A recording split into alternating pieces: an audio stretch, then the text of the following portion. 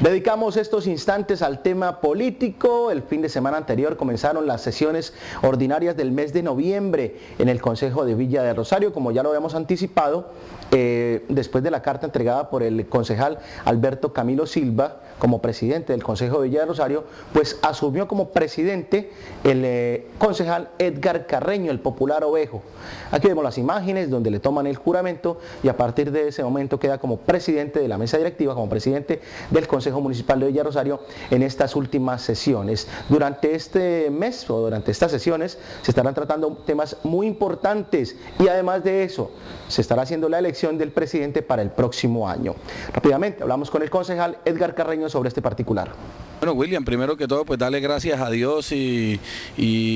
pues estar prestos a, lo que el Ejecutivo Municipal nos, nos envía, el Consejo Municipal, y en estos dos meses que vamos a estar a, cargo al frente del Consejo Municipal, pues tratar de hacer las cosas bien, darle gracias a Dios por esta oportunidad y agradecerle también a, a los concejales por el voto de confianza que me dieron y esperar en que las cosas salgan bien en lo que resta del año.